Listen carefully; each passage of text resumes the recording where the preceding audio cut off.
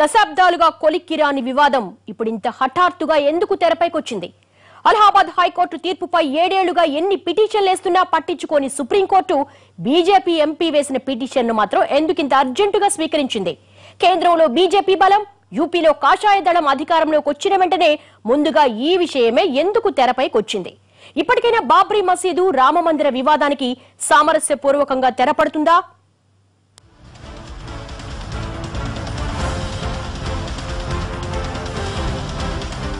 శతాబ్దాలుగా కొనసాగిన సామరస్యం దశాబ్దాలుగా శాంతియుత మార్గంలో కొనసాగిన వివాదం ఒక్క ఘటనతో నెత్తుడిమయంగా మారిపోయింది. పంతొమ్మిది వందల తొంభై రెండు డిసెంబర్ ఆరున వేలాది మంది కరసేవకులు ఒక్కసారిగా దాడి చేసి అయోధ్యలోని మసీదును కూల్చివేశారు. దీంతో దేశవ్యాప్తంగా మత ఘర్షణలు తలెత్తాయి. వాటిలో రెండు వేల మందికి పైగా జనం ప్రాణాలు కోల్పోయారు. మసీదు కూల్చివేత కోసం జరిగిన కుట్రపై దర్యాప్తు కోసం లిబ్రహాన్ కమిషన్ను పంతొమ్మిది వందల తొంభై రెండు డిసెంబర్ పదహారున ఏర్పాటు చేస్తున్నట్టు కేంద్రంలోని పివి నరసింహారావు ప్రభుత్వం ప్రకటించింది. ఆ తర్వాత పంతొమ్మిది వందల తొంభై ఎనిమిది ప్రధానయ్యాక వాజ్పేయి రెండు వేల రెండులో జనవరిలో తన కార్యాలయంలో అయోధ్య సెల్ను ఏర్పాటు చేశారు. హిందూ ముస్లిం నేతలతో చర్చలు జరపడం కోసం సీనియర్ అధికారి శత్రుఘ్న సింగ్ను నియమించారు. ఎన్డీఏ కూటమితో అధికారంలోకి వచ్చిన బీజేపీ రామాలయ నిర్మాణం గురించి పెద్దగా పట్టించుకోలేదు. రెండు వేల రెండు యూపీ ఎన్నికల్లో కూడా ఈ విషయంపై పెద్దగా హామీలు ఇవ్వకుండానే ఎన్నికలకు వెళ్ళింది. అనూహ్యంగా అదే ఏడాది అయోధ్య నుంచి కరసేవకులతో వస్తున్న రైలుపై గోద్రాలో దాడి జరిగింది.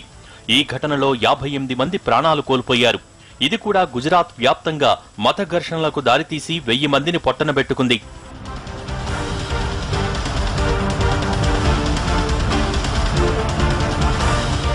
అయోధ్యలోని ఈ వివాదాస్పద స్థలం ఎవరికి సొంతమో నిర్ణయించడం కోసం హైకోర్టులో రెండు వేల రెండు ఏప్రిల్ నుంచి వాద ప్రతివాదనలు ఘాటుగా సాగాయి. ఆ స్థలంలో ఒకప్పుడు రామాలయం ఉన్నది లేనిది పరిశోధించి చెప్పండంటూ ఆర్కియాలజీ డిపార్ట్మెంట్ను రెండు వేల మూడు జనవరిలో న్యాయస్థానం ఆదేశించింది. బాబ్రీ మసీదు స్థలంలో పదో శతాబ్దానికి చెందిన ఆలయం ఉన్నట్టు ఐదు వందల డెబ్బై నాలుగు పేజీల రిపోర్ట్లో తేల్చి చెప్పారు. ఆ సర్వే తేల్చిన అంశాలను ముస్లిం పర్సనల్ లా బోర్డ్ ఖండించింది. మసీదు విధ్వంసానికి ప్రోత్సహించారన్న ఆరోపణపై విచారణను ఎదుర్కోవాల్సిందిగా రాయ్బరేలీలోని కోర్టు రెండు వేల మూడు సెప్టెంబర్లో ఏడుగురు నేతలకు ఆదేశాలిచ్చింది. కానీ ఇందులో అప్పటి ఉప ప్రధానైన అద్వానీపై అభియోగాలు లేకపోవటం కూడా వివాదాస్పదమైంది. రెండు వేల నాలుగులో బీజేపీ నేతృత్వంలోని ఎన్డీఏ ఓటమి పాలై యూపీఏ అధికారంలోకొచ్చింది.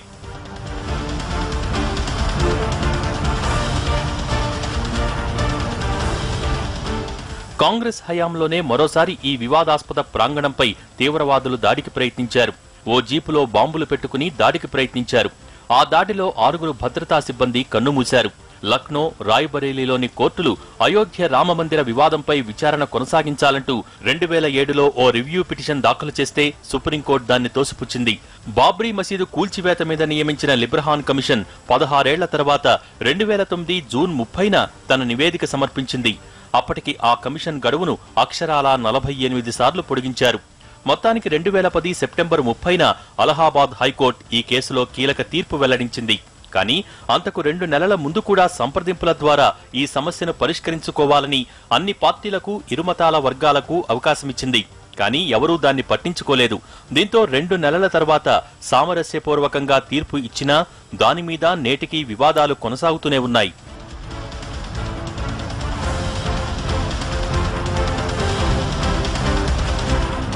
అయితే ఇక్కడ విచిత్రం ఏంటంటే అయోధ్య రామమందిరం గురించిన వివాదం దేశమంతా ఉంటుంది కానీ అయోధ్యలో మాత్రం మచ్చుకైనా కానరాదు. అయోధ్య ప్రజల మత సామరస్యం దశాబ్దాలుగా కొనసాగుతూనే ఉంది. బాబ్రీ మసీదు రామమందిర నిర్మాణం గురించి దేశవ్యాప్తంగా మత విద్వేషాలు కనిపిస్తాయి కానీ ఇక్కడెక్కడా కనిపించవు. ఎక్కడి వరకు ఎందుకు? అరవై ఏళ్ళ కిందట మసీదు మందిరం వివాదంపై న్యాయ పోరాటం చేసిన అన్సారీ రామచంద్రలిద్దరూ మంచి స్నేహితులే. వాళ్ళిద్దరూ కోర్టు విచారణకు ఒకే టాంగాలో వెళ్ళేవారట. ఆలయం గురించిన వివాదాలు కోర్టు బయటే కాని లోపల కాదంటారు వాళ్ళు. నిజానికి ఆనాటి ఆ సౌభ్రాతృత్వ స్ఫూర్తి నేటికీ కనిపిస్తుంది. పంతొమ్మిది వందల తొంభైల్లో బాబ్రీపై జరిగిన రెండు దాడులు ఆపై జరిగిన రామమందిరంపై తీవ్రవాద దాడి ప్రయత్నాలు అయోధ్యేతరులు చేసినవేనని స్థానికుల నమ్మకం. దేశంలో అయోధ్య గురించి ఎన్ని వివాదాలు ఉన్నా స్థానికులకు ఇవి పట్టవు. వాటితో సంబంధముండదు. వాటికి అతీతంగానే ప్రశాంత జీవనం గడుపుతున్నారు.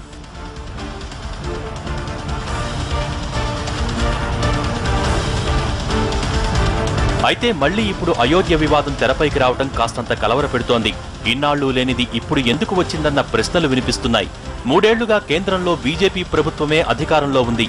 ఇక ఇప్పుడు కూడా యూపీకి కరడుగట్టిన హిందుత్వవాది యోగి ఆదిత్యనాథ్ సీఎం అయ్యారు.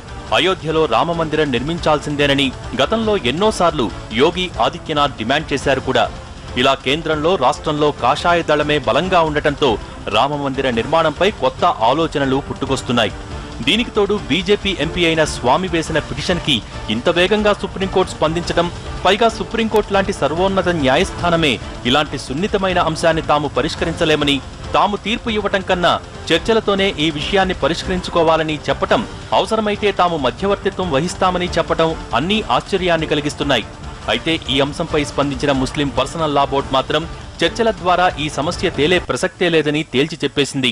సో దశాబ్దాలుగా నివురుగప్పిన నిప్పులా ఉన్న ఈ సమస్యకు ఇప్పటికైనా ఓ పరిష్కారం దొరుకుతుందని అంతా ఆశపడుతున్నారు. ఈ ప్రయత్నాన్ని అందరూ స్వాగతించి దేశ చరిత్రను రక్తాక్షరాలతో రాసిన ఈ వివాదానికి శాంతియుతంగా పరిష్కారం కనుగొనే దిశగా అడుగులు వేయాలని ప్రతి భారతీయుడు కోరుకుంటున్నాడు. ఇది వాళ్ళ స్టోరీ బోర్డ్ మరో